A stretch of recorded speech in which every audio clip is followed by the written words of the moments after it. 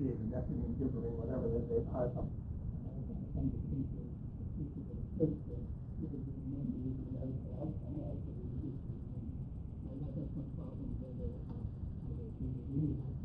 Some years ago, when, I, and found it had some antecedents in ancient Jewish interpretation. Uh, but in, again, in terms of context, this is what we have is the history of the city of man leading up to Lamech. It's, it's the, the theme of human kingship, the abuse of human kingship, uh, coming to an antichrist stage and, and the adoption of divine ideology. And so what I see in Genesis 6, 1 to 4 is a picture of that ultimate stage of, of abuse of human kingship. It's a picture of the, the ancient royal court with its royal harems. That's what the text is describing. Men saw, these sons of the gods saw the daughters of men that they were beautiful, and they took to themselves as many as they pleased. That's the picture. The building up uh, of the, the, characteristic feature of the ancient royal tyranny court of, of the, the harem. And uh, in other words, here again is the same complex of the threefold sins of Lamech. Lamech abused all the institutions of God marriage, the state, and then finally his blasphemy against God. That's what you've got in Genesis 6. The sons of the God, God abused the marriage institution on a huge scale by the, the, this brutal appropriation of women from all over uh, into their harems. And uh, then secondly, they abused the state, because as you read uh, what's going on here, you know, there's all kinds of violence and, and oppression that's going on, so that the Lord looks at the situation and will not tolerate anymore. So uh, the, day two in the name of justice are, are producing tyranny and oppression in the world. But the big point, what was the big sin with Lamech? Divine kingship ideology, the Antichrist the syndrome. He took to himself the name of God, the sons of the gods. That's what that's pointing to. The title that is ascribed to them is the one that's taken out of their own mouths, their own self-identification. We are the sons of the gods. We are divine beings. They identify themselves.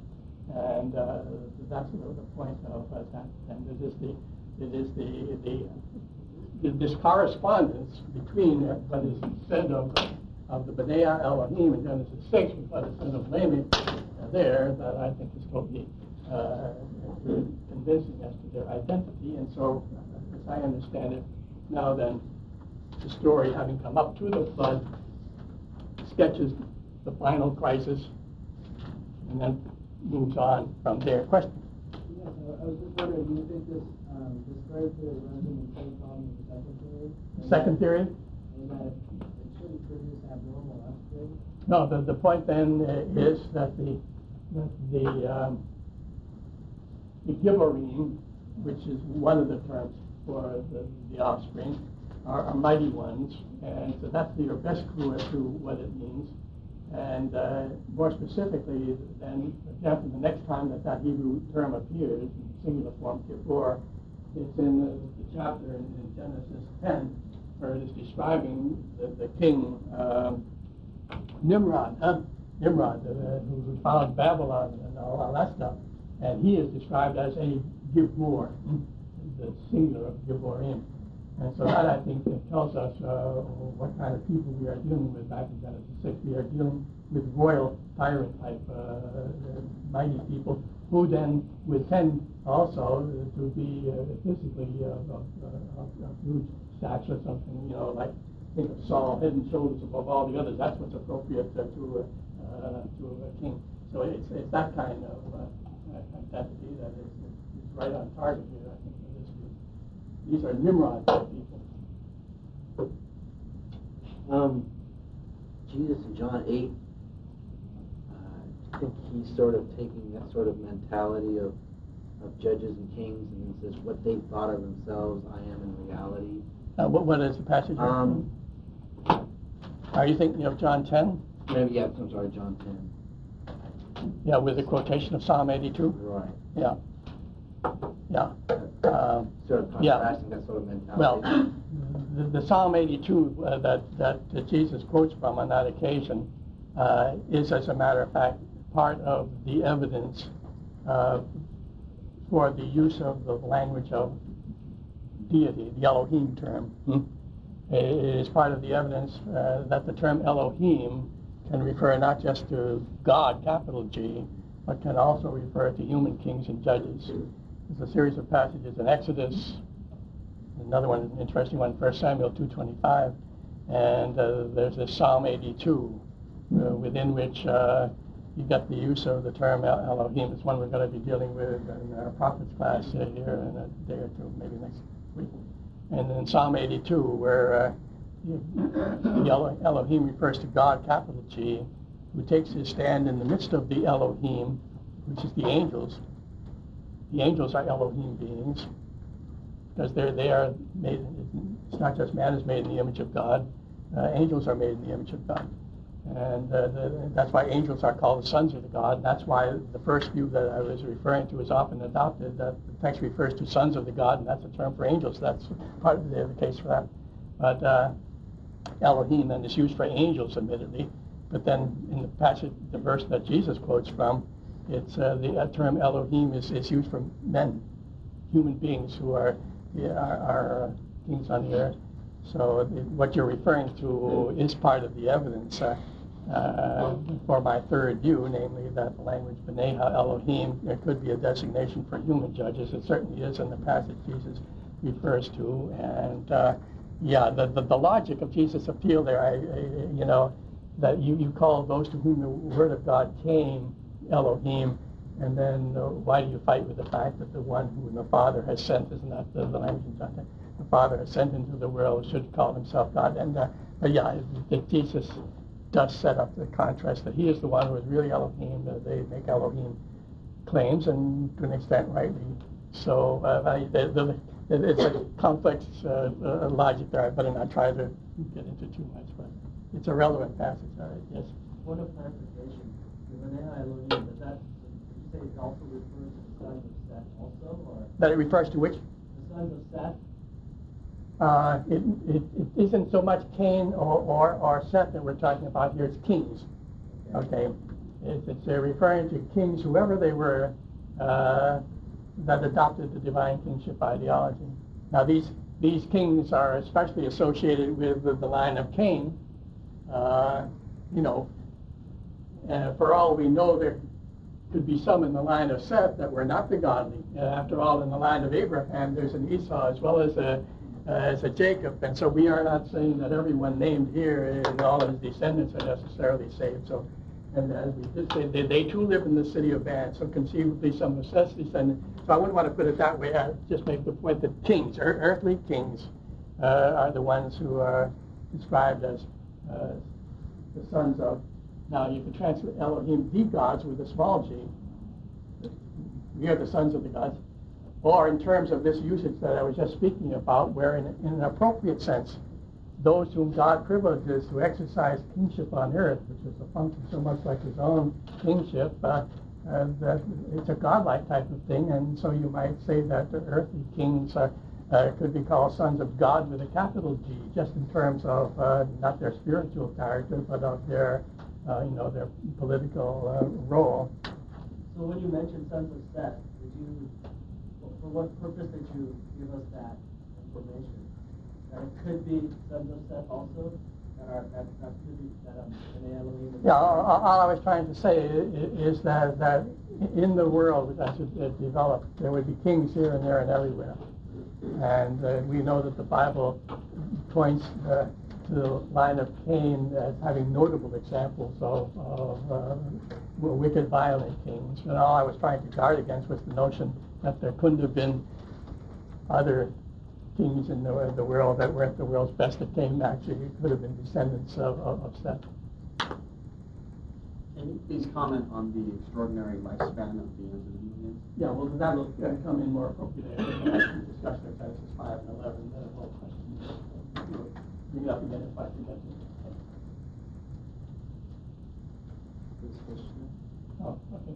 So would you say this passage is conceptually similar to the early part of the Gilgamesh epic, where you have the king who is supposed to be the son of a goddess who uh, is taking the women of the city to himself, and so he's thrown out, goes and becomes a heroic figure? Yeah, well, it- it- not only in Gilgamesh epic, but all over the, the uh, Near East, including in the in the kingless uh, uh, period, you have the, the thought that these kings are gods. That, that I think is, is part of the case I try to make out in my article, that, that, that the biblical account is referring uh, to, uh, to this, this phenomenon, is that this phenomenon is attested in the ancient Eastern world, uh, not just in Mesopotamia, where you're referring to, but uh, and, and Gilgamesh himself is uh, he's supposed to be two-thirds uh, theistic, and uh, uh, not just Mesopotamia, but in Egypt as well, with the pharaoh was the sun god, uh. So this is this divine kingship is a common phenomenon all over the place. And, uh, where, where did you do your reading of the Gilgamesh? I studied it in undergraduate. Okay, it's uh, something that, that uh, we'll will be, uh, we make use of, uh, yeah, yeah, I usually encourage people to read, uh, a couple of works by, uh, fellow uh, Alexander Heidel. Did you use his translation of the Gilgamesh? uh, I'm not sure, to be honest. Yeah, and, uh, and this other one on, on the Babylonian Genesis, when we're talking about the creation days, and then we refer to the Enuma Elish, uh, uh, the Babylonian Genesis. But, uh, I encourage everyone to be reading into that material. But let's see if we can just, just about time just to round out the first triad evidently by saying this then, that having traced the history of world that then was twice now, involving this chronological flashback or recapitulation here from, you, you have now come up again to Antichrist, and, and Antichrist means judgment, and judgment comes, and that's division three, introduced by chapter six, verse nine. And uh, here now we get covenant specifically. In fact, for the first time, the, the actual term berith occurs in the Bible. Now, the covenant reality has been there from the beginning. I've said, right? The world has created a covenant uh, reality.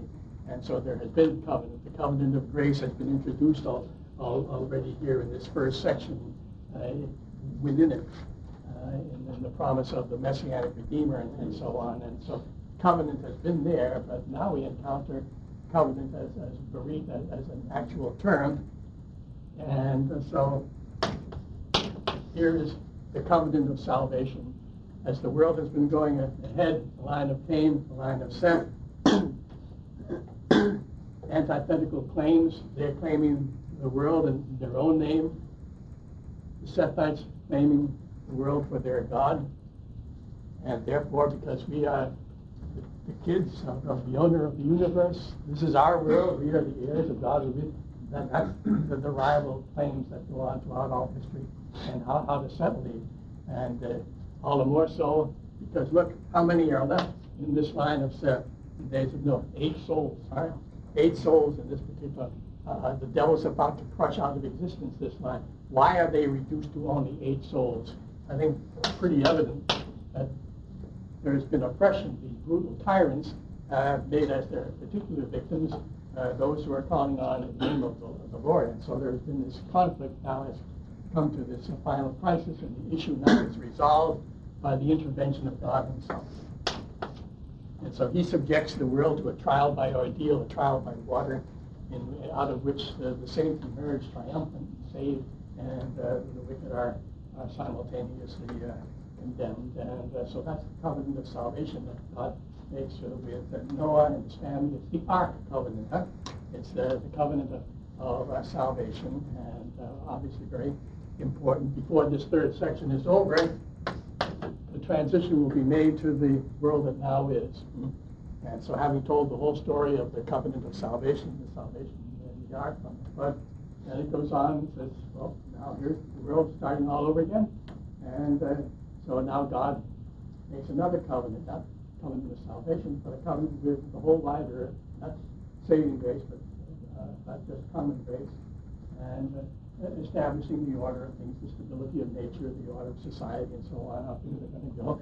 And so you get that covenant there, and then it concludes uh, with the oracle of Noah, which also sort of is transitional for all that follows because he sketches out the whole subsequent history, not just that covered in the book of Genesis, but in the rest of the Bible and in the New Testament as he pronounces curses and blessings on his three sons. But it's a comprehensive world history that's described in this triad, pattern of, uh, of things to come. Well, uh, tomorrow, Lord willing, we'll take it from there. And then, as I said, the first topic that we'll deal with in more detail is the question of the genealogies in the fifth and eleventh chapters and the question of the antiquity of man Thank you.